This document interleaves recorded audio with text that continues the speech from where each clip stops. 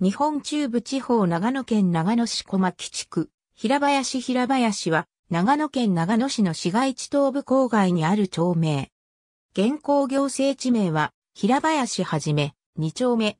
住居表示実施済み区域である。郵便番号は381-0036。全域が長野市役所小牧支所の管内である。地区の中央部を国道406号が東西に横断し、1丁目と2丁目との境をなしている。地区東部には都市計画道路高田は勝木線が南北に縦走する。1丁目南部には柳原1号幹線排水路が流れ、広大な湧水池がある。周囲は以下の大技、町々と接する。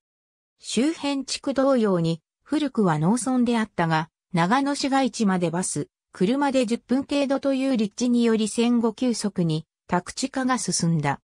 地区南東部の北八幡川沿いには近年まで農耕地が残っていたが、区画整理が行われ現在では住宅地となっている。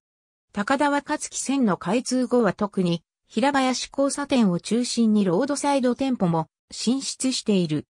地区の南西で北八幡川に中沢川などの用水が数本が注ぎ、さらに6が合用水が分かれており、この付近に2.4ヘクタールにも及ぶ雨水、調整地が広がっている。この合分流点は、勾配が緩いため土砂の体積が甚だしく、さらった土砂が積み重なって付近に小高い丘を3つなすほどであり、三重山などと言われていた。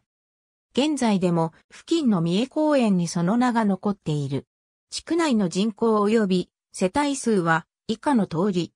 平林の範囲は、おおむね1889年以前の水内郡、平林村の範囲に相当する。平林街道上を走る超電バスの以下の路線系統が利用できる。ありがとうございます。